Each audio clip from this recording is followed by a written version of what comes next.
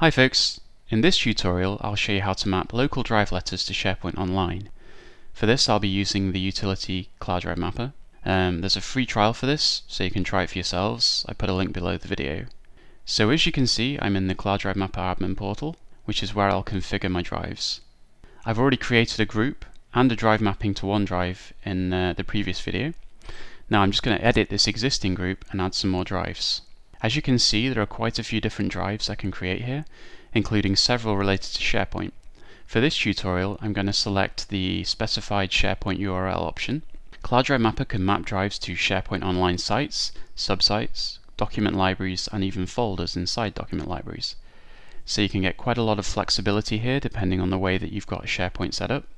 I'd probably recommend mapping to document libraries or folders because that way you can't see all the site pages and other ancillary stuff at the site root, but you can do whatever you think is best for you. I'm going to enter a URL for our marketing folder within our main central document library. I'll call the drive marketing and put it on the letter M.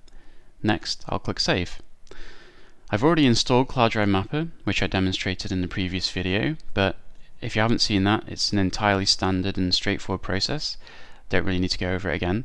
I've also added this license key here, which I explained in the previous video both licenses the product and is what links the specific users I've deployed the license key to with these settings here. As you can see in File Explorer, I've already got a drive mapped to my OneDrive here. Um, because I've only just added the SharePoint location, I'm going to need to refresh Cloud Drive Mapper. You'll see my new marketing drive has now appeared on my M drive. I'll quickly go through the same process again to add another drive, this time to our um, sales SharePoint site, and I'm going to add that to the S drive. I'll refresh the settings again. So now we have two drives mapped to different SharePoint locations, as well as our original H drive mapped to OneDrive from the previous video. So that's um, pretty nifty, right? And also really easy.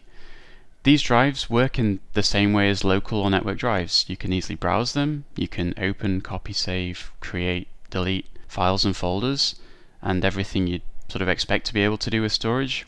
The search works really nicely too. Nothing is synced. This is just simple direct access to your SharePoint Online storage.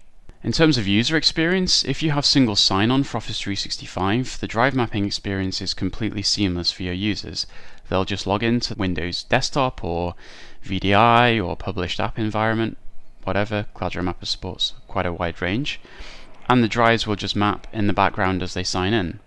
Deployment is easy. There are MSIs and EXEs available and can easily be handled by group policy, SCCM, Intune, etc. You can use different groups in the Cloud Drive Mapper portal to create different sets of configurations for different groups of users. For example, in a school you might want a group of mappings for employees and a different group of mappings for students. Simply set them up in the portal here and deploy the license keys, which are just really registry keys, to the relevant user groups or OUs in your directory. So that's pretty much it for this video. In future tutorials I'll go over some of the other options for mapping SharePoint document libraries and also uh, Microsoft Teams libraries, including the Converge Drive feature, which dynamically maps all of the SharePoint document libraries a user has the permissions to access into a single drive letter. This is a really neat feature, so I hope you'll check out the next video. Um, also, please subscribe if you want to keep up to date with any of the future tutorials that we do. Thanks.